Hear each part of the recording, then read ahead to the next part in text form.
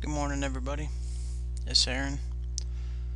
Thought I'd do a few follow up videos on Edmodo just to show you the three most powerful collaborative tools available. Of course, the first and most highly used collaborative tool in the Edmodo universe would be the Groups tool, and that is the tool right here. This is the one that um, I know everyone is most familiar with. Groups, uh, for the most part, for all teachers, is your classes. Um, you create your groups for your individual classes, you know, AP Science, um, you know, Calculus, Math 2, Math 2 Advanced, etc.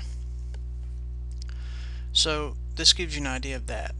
The collaborative part is where the student-to-student -student collaboration comes into effect and the student-teacher collaboration. Uh, this can also be used uh, how uh, training covered it where you can actually use groups for teacher-to-teacher -teacher collaboration where groups are covered and created for you know groups for 9 to 12 teachers on the high school level um, groups can be created for subject areas such as math, science, social studies, and English. And that way, the teachers in these particular departments can collaborate in their own ways. And you would have your own private forums to do that. Once you create these groups, obviously, just to give you an example, um, all I have to do to close this group out is lock it. Once I lock it, doesn't matter if you have the group code or not, you cannot join after that point. Okay, it just gives you a good good idea to understand that once those groups are locked, you have that privacy um, for that collaboration that needs to go on. That way, when we have our SACS and GAPPS review, uh, we can use these for such terms as those.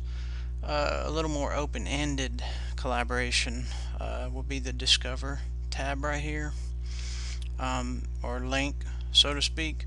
If you click on this really it's going to be tailored towards what you've chosen to follow. Uh, it's a little not too complicated but see the suggest suggested topics. These are based on um, my preferences and communities and the people that I've connected with uh, obviously, they using they're using social dynamic tools just like Facebook to uh, tailor the suggested topics to what they think I would be more interested in. But they have trending topics as well. Okay, and of course this would be the more you know the more popular items that people on Edmodo are looking for right now. And the, obviously the top right now is math, U.S. history, and modern world. Okay. So using this, really, it's just like a, a, a, a feed, a live feed that would allow you to uh, click on these links and it would show you particular um, websites that you could actually link into your own discussions, assignments, quizzes, etc. Uh, it's just a you know a discovery for resources um, and possible connections as well. So uh, it's a pretty cool little feature. Uh, finally, there's communities, okay? And uh, this is the more common uh, collaborative tool. It's the most easily and readily available. You don't have to wait for people to give you a code to join their group. Uh, you don't have to search, uh, you know, PEC and click on links to find or not find relevant information. When you go to communities, you go to browse and you have uh, subject matter broken down for you, right? See this? This is by subject matter per school. You know, basically it breaks it down from here. And then you can go down in here and uh, these uh, particular um, social items are going to either be apps in the App Store or uh, websites connected to Edmodo in some way, shape, or form. There's a lot of stuff out there, but these are all helpful and they will definitely help you in the collaborative aspect of Edmodo because by going to these websites um, you're going to be able to link them into your library and once you do that you'll obviously have them especially if you end up finding like something like Worldwide Center for Mathematics um, they're going to have information in here. See flip classroom right here bam. Got some good info right here. You can follow this link.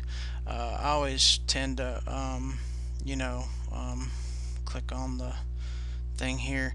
And from here I usually go and copy video URL right? If I wanted to just directly steal this for my own you know even if I didn't want to follow the community I'm gonna go ahead and follow them why not right? But I can go to my own my own group here technology resources do a note cool math video I just found right? Then I can go to link just link it right here alright? And that's all it is. And then bam uh, once I've submitted this to uh, my class or my group for that matter uh, it's on there okay? So um, that's all it is. And the cool part is is of course once you go to your library go to attach to post and it's going to show you the links I have. Oh gotta gotta love Google Chrome sometimes. I really want to show this so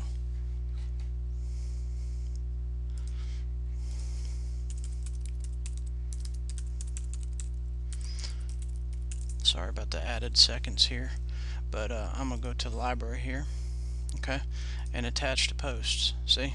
And there it is right there okay?